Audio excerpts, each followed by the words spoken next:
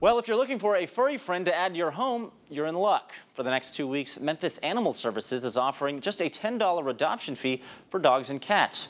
That's down from fees that can get as high as 80 bucks. It's part of a nationwide movement to empty the shelters as animal shelters across the country face an overcrowding crisis. Thousands of highly adoptable pets are waiting for their second chances. Again, it starts today and goes until October 15th.